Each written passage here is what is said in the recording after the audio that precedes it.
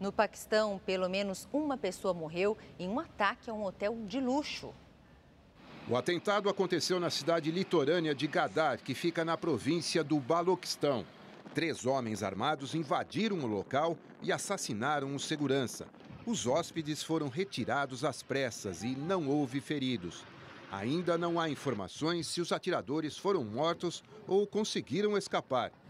Um grupo separatista da região assumiu a autoria do ataque.